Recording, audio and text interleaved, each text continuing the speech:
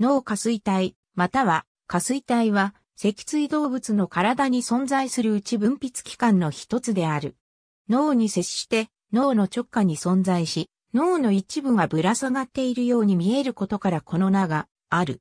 脳下垂体は脳と共に硬膜に包まれており、脳の腹側に接している。思考差の後方、肝脳の視床下部に接する位置にある。下側は頭蓋骨の長頸骨に接する。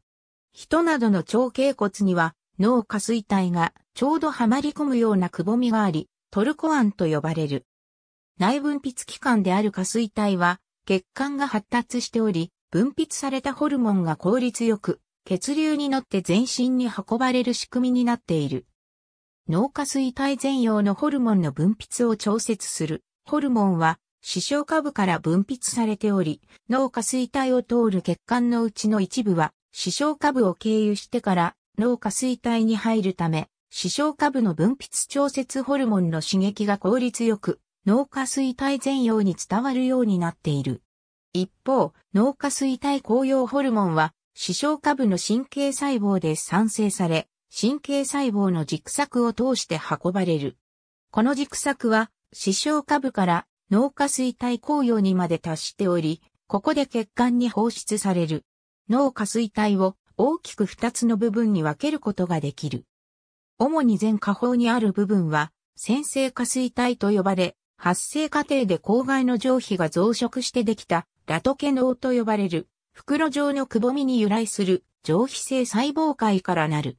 一方、主に後髪型にある部分は神経性下垂体と呼ばれ脳の肝脳が発生過程で伸びてきて形成される部分である。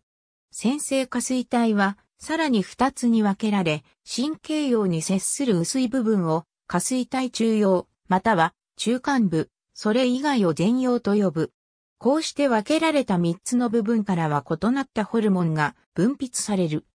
全葉からは、副腎皮質刺激ホルモン、甲状腺刺激ホルモン、生鮮刺激ホルモン、成長ホルモン、プロラクチンなど、他のうち分泌器官の機能を左右し、そこからのホルモンの分泌を調節する多種のホルモンが分泌される。中葉からは、メラニン細胞刺激ホルモン、神経葉からは、氷尿ホルモンやオキシトシンが分泌される。トレクスと視床下部、脳下垂体全葉、標的臓器から分泌されるホルモンは表。1のようになる。脳下垂体は過労によって異常をきたすことが示唆されている。これはラットでの実験結果だが、一定期間にわたって疲労ストレスをラットにかけ続けたところ、脳下垂体の様々な場所で機能異常が生じていた上に脳下垂体の中央においては細胞が死んでいるのが観察された。なお、3日間程度での疲労ストレスをラットにかけ続けただけの場合に細胞死こそ見られなかったものの脳下垂体の機能異常はすでに生じていたことも観察された。AB 過労時の下垂体編成の分子基準の解明。ありがとうございます。